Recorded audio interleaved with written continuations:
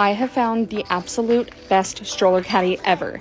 This is the On The Go 3.0 in cactus print by 12 Little, and it is the cutest caddy ever. I love the material on it. It's super easy to wipe down, and I just can't get over how much I love this cactus print. I love the leather design on the stroller straps, and it has their logo on it, and you also get a shoulder strap so you can literally take this caddy on the go as a bag.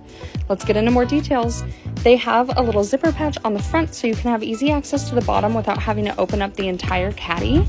The right hand side has a little storage pocket that I like to put my phone or my water in, and the left has a storage space for wipes, which is life changing.